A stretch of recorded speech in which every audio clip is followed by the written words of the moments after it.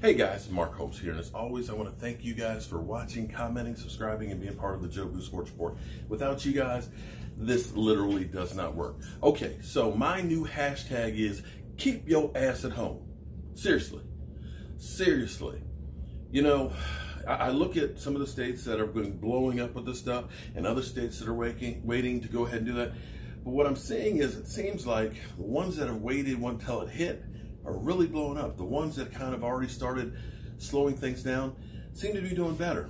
Now, the biggest problem, because I heard this this morning, my daughter, she's running out of toilet tissue.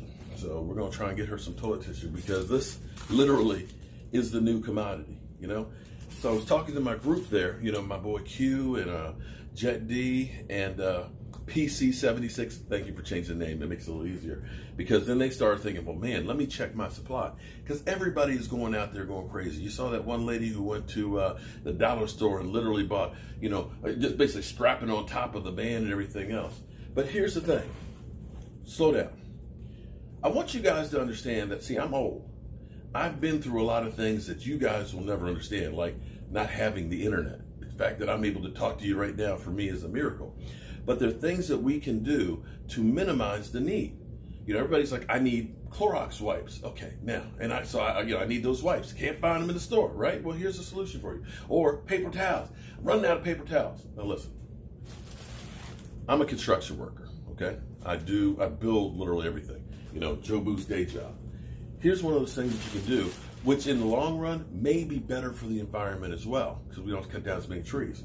See, Home Depot not trying to, I'm not paid by Home Depot or anything like that, but you guys know I spend a lot of money there. If you want to give me a discount, I'll take it.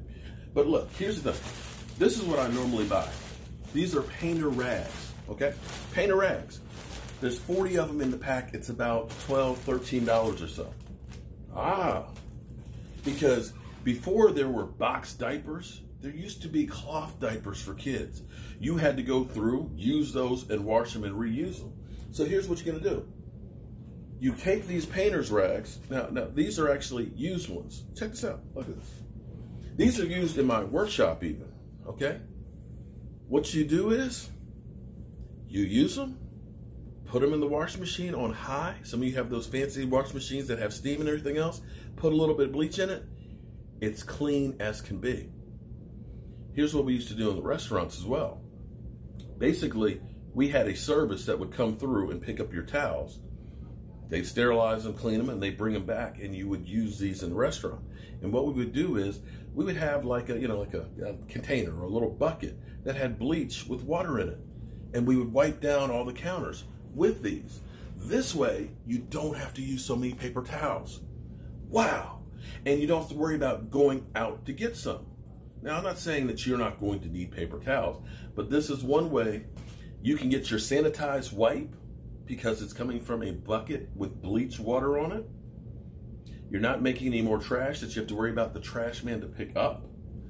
You've got them right here at home. And in the end, think about what you're spending in paper towels, how much money you'll save. Now, toilet tissue. This one's going to be a little bit harder of a solution for you um, because, of course, we all think we need toilet tissue. Um, and I'm thinking about something we did at our house a couple months back. And if you have any uh, skills, you can do this too to help minimize the amount of toilet tissue you need. Okay, let's go upstairs and let me show you what I'm talking about. Okay, so we're actually in my bathroom that, you know, I, I rebuilt this. When I got this house, it, it was in bad shape. It's a very small bathroom because, you know, we I built the shower pan and everything else, so it's a corner shower in there. And then we did the whole countertop and stuff in here and made it so it's as functional as possible. And of course, we have our toilet here. My wife always kept saying, I want a bidet.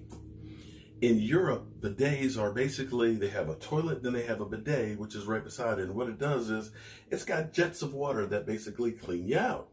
And I'm like, we ain't got room for a bidet in here. So we ended up getting a kit from Home Depot. Shout out to Home Depot. It's not been paid, but you can help a brother out we ended up getting this kit, um, which is like a bidet sprayer. So it's kind of like a kitchen sprayer, but it's got nozzles on it that keep the water really, really strong. Let me show you what I mean here.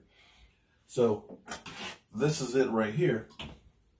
And this is what it does.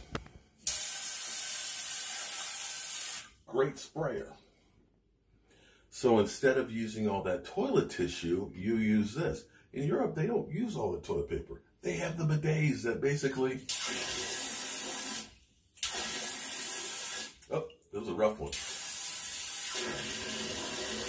That was a real rough one. You know, after them tacos, you can do that. Now, the nice thing about this is that, no, they, they have all kinds, okay? There's some that are better than others. Some of them they have are just like retros where it's the toilet, it goes under the toilet seat. Uh, those are on the cheap side. I don't like those. This one is better because it's stainless steel and you see how nice the pipe and stuff is on it. And it actually hooks up pretty easy. If you've ever worked on a toilet before, there is where the nozzle goes to the bottom of the tank. It's actually a plastic fitting that you can unscrew with your hands. Okay, make sure you clean your hands afterwards.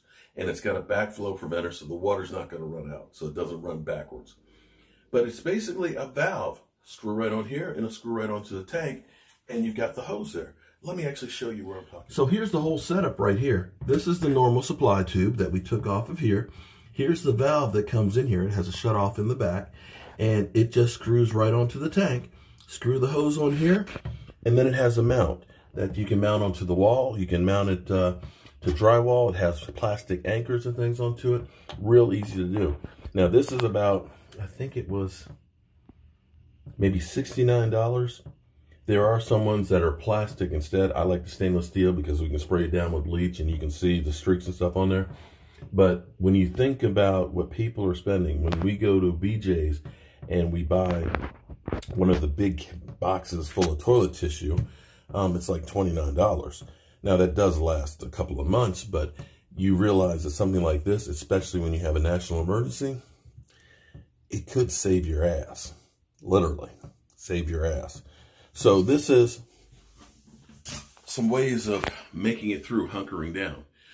Um, there's going to be hard times, and not always you're going to be able to find toilet tissue and rags. So you've got to figure out ways of going back to doing things like before we had all the conveniences that we had. So get yourself, yeah, and, and here's the thing. Try and go out as little as possible right now. You know, it's better to err on the side of caution, but if you assume that everybody has it that's around you, you're going to act differently. And if you act differently like that, we'll get through this quicker. So I'm going to keep going through. I'm staying busy. I'm working on my house and cleaning up and things like that. I'm taking advantage of this time, one, to keep myself busy so I don't worry, but two, to get myself in a better position and better able to handle what may be coming. So keep looking for these tips and these videos and stuff from me. And of course, as always, I want to thank you guys for being here. Be safe and keep your ass at home.